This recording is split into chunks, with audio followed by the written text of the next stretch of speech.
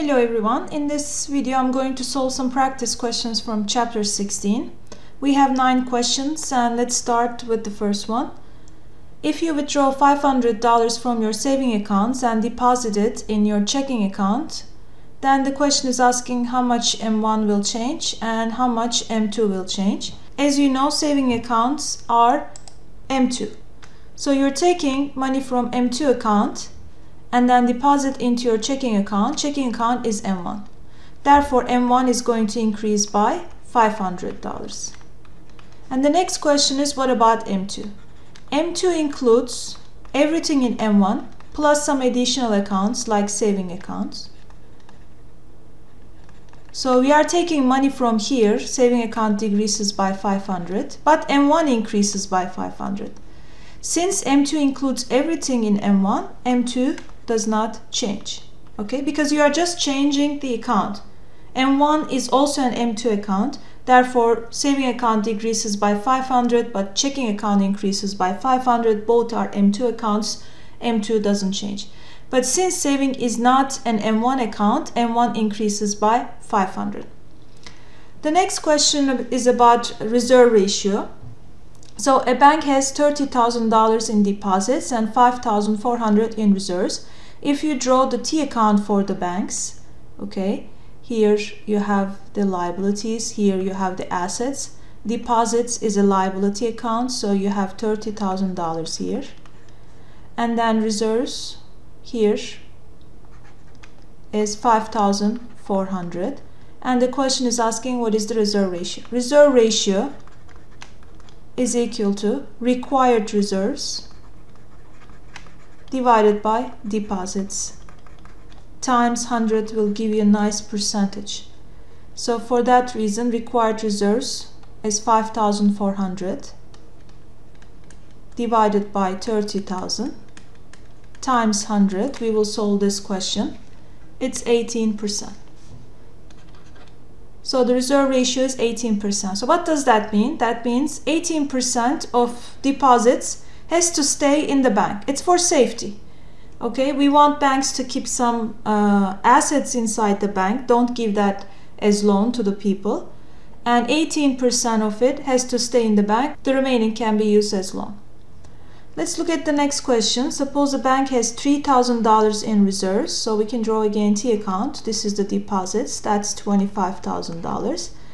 And reserves 3000 and 10% reserve requirement. So this bank is required to keep 10% of this number in the reserves. Let's find out $25,000 times 10% is 2,500. So 2,500 is the required reserve. But banks sometimes keep more money than required reserve. As you can see here, reserve account is 3,000. So this bank has excess reserve. 2,500 is required. The remaining is excess. Therefore, excess reserve is 3,000 minus 2,500, which is $500. Let's look at next question. You have again assets and liabilities, deposits 10,000, reserves 1,200, loans 8,800. As you see, assets are equal to liabilities. The total amount in assets equal to liabilities. So we need to find out the reserve ratio for this bank. If we assume that there is no excess reserve, reserve ratio is all reserves are required divided by deposits times 100. So which in this case 12%.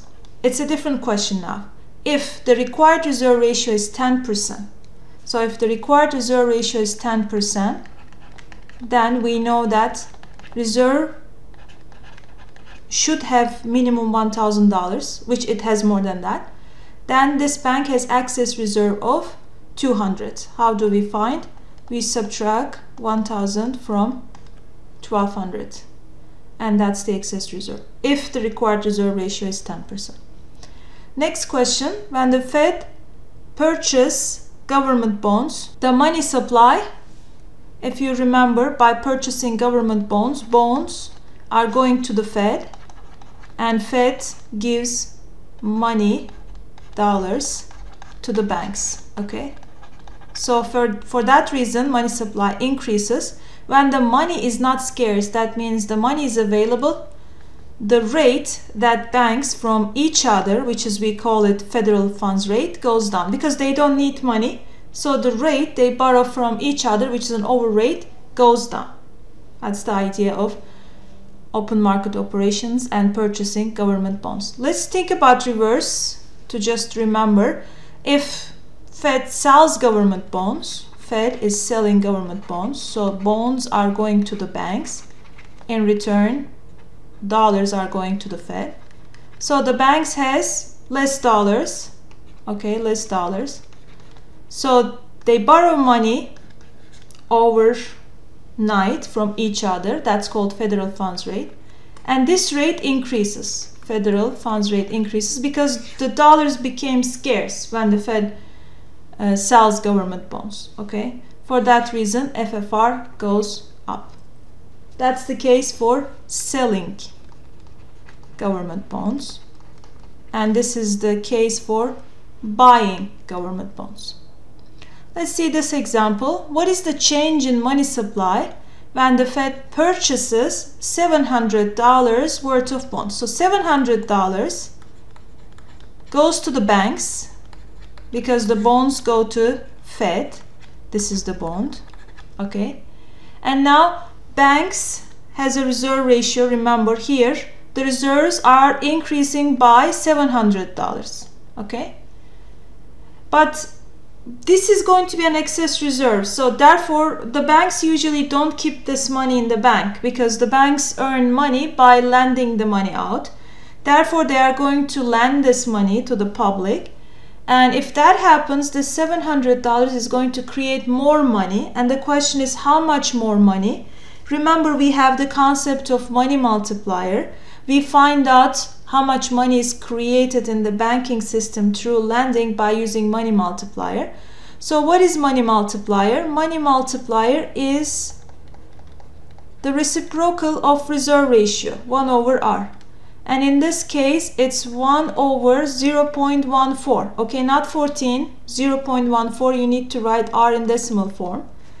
And 1 over 0.14 is equal to equivalent to 7.15 so now with that money we can create create a total amount of money initial amount initial purchase which is 700 times the money multiplier 7.15 which is equal to $5,000 so by just purchasing $700 of bond, that means injecting $700 into reserve account of the banks, banking system can create money up to 5000 because of the money multiplier. So let's look at this question, number 8. If the discount rate is lowered, so let's remember what a discount rate is.